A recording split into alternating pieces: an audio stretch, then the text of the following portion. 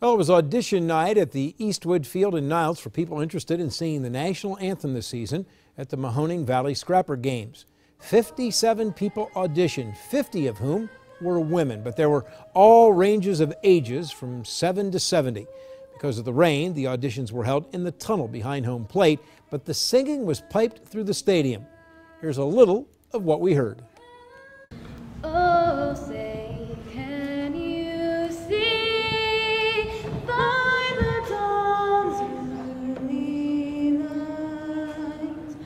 What so proudly we hailed at the twilight's last gleaming, whose broad stripes and